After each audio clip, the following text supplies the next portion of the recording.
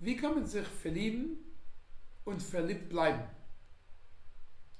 Häufig, viele Menschen verlieben sich ganz schnell.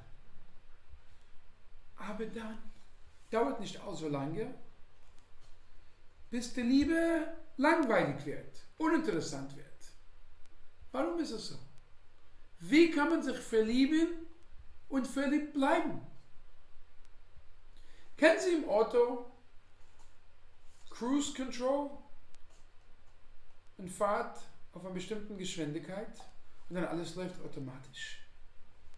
Häufig geht es so auch in Liebe. Am Anfang, wir geben uns viel Mühe. Und dann irgendwann alles wird selbstverständlich. Selbstverständlich erwarte ich von meiner Frau, dass sie so alles organisieren und das Haus führen. Selbstverständlich erwarte ich von meinem Mann, dass er soll immer da sein, mir unterstützen. Das ist ein großer Fehler. Ein Schlüssel der Liebe ist, Liebe ist wie eine Pflanze, muss jeden Tag begossen werden.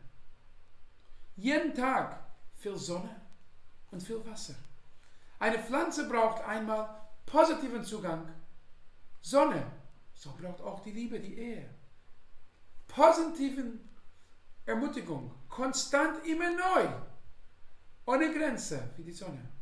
Aber auch Wasser, auch Inhalt, Taten füreinander, konkreten Taten. Die große Liebe ist nicht, wenn man sich auf einer Insel in Urlaub sich befindet sondern wir haben Tag für Tag füreinander Dinge gemacht, auch wenn sie sinnlos sind in unseren Augen.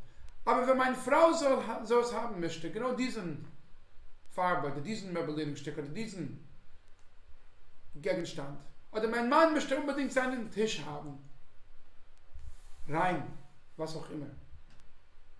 Weil wenn die Dinge gemacht sind füreinander, Vollzeit, nicht auf Autopilot, dann wird man nicht nur verliebt, sondern die Liebe bleibt. Und schließlich, weil man weiß, dass man Inhalt in der Liebe hat, man eine göttliche Perspektive in die Liebe bringt, dann verbindet uns etwas, die höher als uns beiden alleine sind.